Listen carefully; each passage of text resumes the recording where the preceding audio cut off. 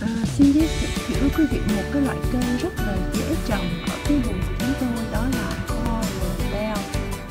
À, như coral là cái màu nó nâu nâu dày cái loại là coral thì coral thì cái loại này nó trồng chung với các cái loại cây mà có lá màu xanh thì nó làm thay đổi cái màu sắc và nó làm nổi cái vườn cái hiện lên thì thưa quý vị cái cây coral bell này rất là dễ trồng. À, quý vị có thể trồng một cách quý vị cái hoa nó thì nó nhỏ thôi, nó như thế này nè.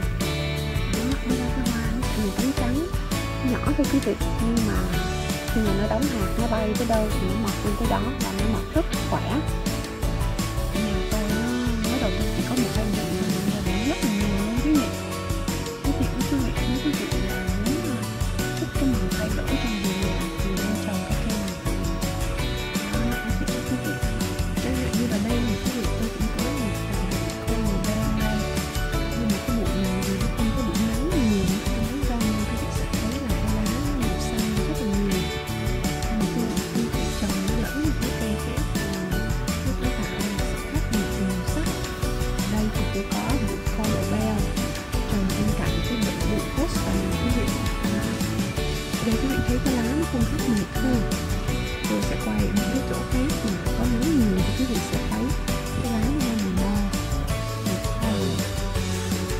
Vị đây là coral bell ở một cái chỗ khác.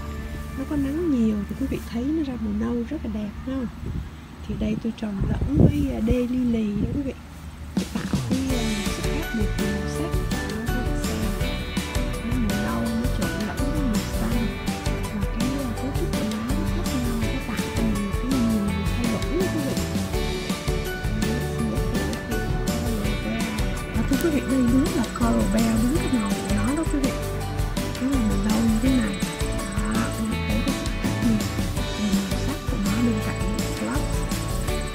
Khi nó có nắng đủ thì nó sẽ màu như vậy đó quý vị.